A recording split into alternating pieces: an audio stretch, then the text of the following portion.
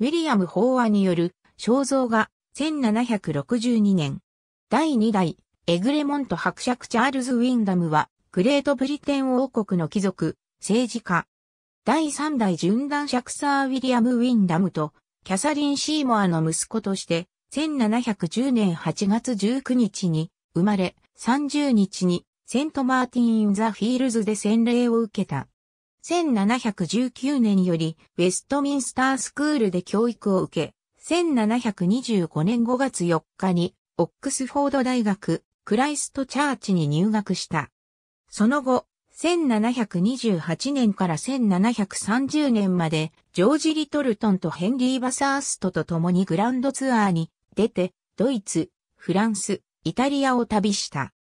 父がトーリー島の重鎮で、1715年ジャコバイト放棄では、ジェームズ・ローシン王を支持したとして、ロンドン島に投獄された経緯があり、ウィンダムも父の存命中は、トーリー島の一員として行動したが、1740年に父が死去すると、トーリー島から離脱して、ホイック島に接近するようになった。トーリー島に属し、1734年、イギリス総選挙でローンストン選挙区から出馬して落選したが、翌年4月にブリッジウォーター選挙区の補欠選挙で当選した。議会では野党の一員として投票したが、1741年、イギリス総選挙でジョージ・バブ・ドディントンの裏切りにあって敗北した。この選挙では、ウィンダム、ドディントン、ビアー、ポーレット閣下の3人が出馬しており、うちポーレットが与党の候補で、ウィンダムとドディントンが野党の候補であり、定数は2人だった。首相ロバート・ウォルポールははじめポーレットの当選と、ドディントンの落選に向けて活動したが、ドディントンは、ポーレットと手を結び、与党側からも票が流れてきたことで、ドディントンとポーレットが当選した。ただし、同じくトーリー党に属する初代ゴア伯爵、ジョン・ルーソン・ゴアが保険として、アップルビー選挙区でもドディントンを当選させていたため、議席に空きが生じ、ウィンダムは1742年1月に行われたアップルビー選挙区の補欠選挙で議員に返り咲いた。また、1740年6月17日に父が死去すると順番爵位を継承した。1742年にウォルポール内閣が倒れると、ウィンダムは与党に転じ、第2代カートレット男爵ジョン・カートレットを支持した。これによりトーリー党からの支持を受けられなくなったため、1747年、イギリス総選挙ではトーントン選挙区に転じて再選した。この時、コッカーマス選挙区でも当選したが、トーントン選挙区の代表として議員を務めることを選択した。この頃よりグランビル派から入荷する公爵派に転じている。1750年2月7日に母方の叔父にあたる第7代サマセット公爵アルジャーノン・シーワーが死去するとエグレモント伯爵くらいの特別残余権に元づき爵位を継承した。この時、公爵が所有していたコッカーマスとペットワースの領地も継承したものの、イングランド北部での領地はほとんど顧みず、ペットワースに住んだという。貴族院での弁論に関わることは少ないものの、1757年4月に第2代テンプル伯爵リチャード・グレンテンプルから将来は二人目のピットになるに違いないと評価され、同年夏に第2代ウォルドグレーブ伯爵、ジェームズ・ウォルドグレーブが組閣を試みたとき、ヘンリー・フォックスから国務大臣の就任を打診された。この時までに、フォックスに接近したエグレモントははじめ許諾したものの、後にそれを撤回した。1761年春にアウクスブルクで行われる予定だった7年戦争の講和会議では、大ピットと入荷する公爵の推薦を受けて、イギリス代表の一人になった。この講和会議は最終的には開催されなかったが、エグレモントは同年7月8日に枢密顧問官に任命され、同年10月にダイピットが南部担当国務大臣から辞任すると、マンスフィールドの推薦を受けてその後任になった。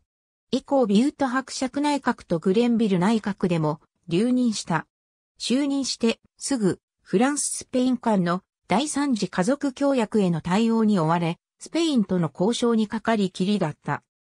エグレモントはまず国王と議論して、首相の第三代ビュート伯爵ジョン・スチュアートに知らせないまま、在スペインイギリス大使の第二代ブリストル伯爵、ジョージ・ハービーに交渉を命じ、イギリスがスペインへの敵意を有さないことを約束しつつ、家族協約にイギリスの利益を損害する内容が含まれない証明を引き出そうとした。しかし、エグレモントは対スペイン交渉において譲歩の意思を見せず、結局交渉は決裂、イギリスは1762年1月4日にスペインに宣戦布告した。直後の1762年3月に訴中を起こして既得状態に陥ったと報じられるが、すぐに回復し、以降1762年中を通してフランスとの講和交渉に当たった。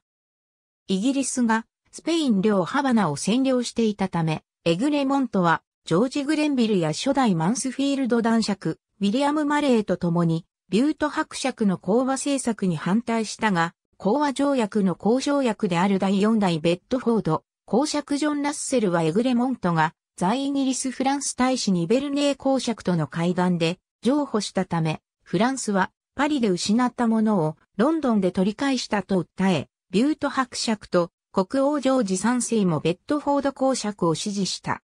そのため、同年夏にエグレモントをアイルランド総督に転出させ、閣内分裂を防ごうとする動きがあったが失敗に終わり、二人の関係は悪化した。やがてエグレモントはビュート伯爵や他の閣僚を説得、11月2日の予備講和条約が締結された時には、ハバナをスペイン領フロリダと交換させることに成功した。この一連の清掃について、リチャード・リグビーはエグレモントがベッドフォードを憎んだため、格乱に動いたと指摘、ホックスはエグレモントよりも、グレンビルとマンスフィールドを攻めるべきとの見解を表明した。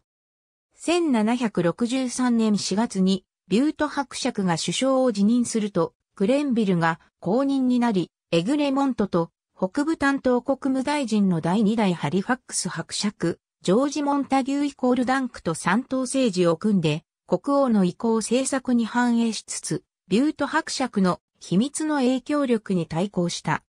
このことについて、エグレモントは、同年5月にビュートに何らかの影響力が残っていることが発覚した場合、自身は即刻辞任すると表明するほどの強硬な態度を示した。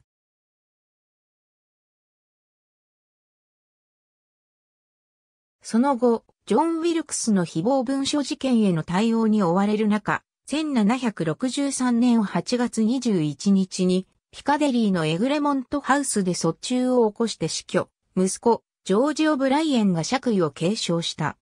ホレス・ウォルポールによると、第2代、エグレモント伯爵は、偉大なサー・ウィリアム・ウィンダムの息子、ローサマセット公爵の孫として生まれ、父の能力より、公爵の並外れた高慢さの方を遺伝してしまったが、ユーモアに溢れていたという。ウォルポールはさらに、エグレモント伯爵を、実業の知識も、議事の才華もないと酷評したが、ブリタニカ百科辞典第11版はこれを過小評価だとしている。19世紀の歴史家である第5代スタンホープ伯爵、フィリップ・スタンホープはエグレモントが行為の感触についた理由を父の第3代順断爵サー・ウィリアム・ウィンダムの名声に返したが、英国人名時点ではエグレモントが政界において早い時期からホイック党の指導者と親しかったことを理由にスタンホープの見解を批判にほとんど耐えられないと評した。1751年3月12日、アリシア・マリア・カーペンターと結婚、4男2女を設けた。ありがとうございます。